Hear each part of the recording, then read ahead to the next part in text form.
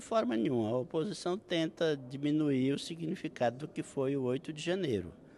Uma insurreição incentivada que poderia ter chegado num golpe de Estado através da presença dos militares na rua.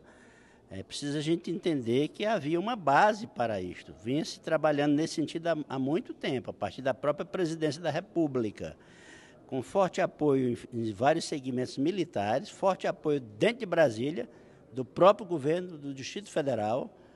E se as instituições tivessem se omitido, se Lula tivesse cometido o erro de chamar uma, uma a garantia da lei e da ordem, colocando os militares na rua, bastaria matar algumas pessoas para se criar um clima propício a que eles não saíssem das ruas.